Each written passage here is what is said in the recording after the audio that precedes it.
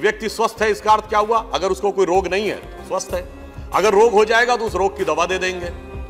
परंतु यह है बाई नेम इट आयुर्वेद आयु का विज्ञान है। यहाँ पर ऐसी भी औषधियाँ उपलब्ध हैं जो आयु के संरक्षण और संवर्धन के लिए उपयुक्त हैं और प्रभावी हैं। इसीलिए आप देखें कि बाकी जो वेस्टर्न मेडिसिनल थॉट्स हैं वो क्लेम ही नहीं करते कि जनरल इम्यूनिटी को बढ़ाने के लिए उनके पास कोई बहुत कुछ है, सिवाय मल्टीविटामिन और मल्टी मिनरल्स को देने के लिए। अगर उस प्रकार की चीज़ें आज उपलब्ध हैं, और हम देख भी रहे हैं जिस प्रकार के वायरस और इम्यूनोलॉजी रिलेटेड खतरे बढ़ रहे हैं तो अगर हम इसे प्रभावी ढंग से रख पाए तो समझिए यह आयु का विज्ञान, आयु के संरक्षण और संवर्धन में एक प्रभावी रोल प्ले कर सकता है।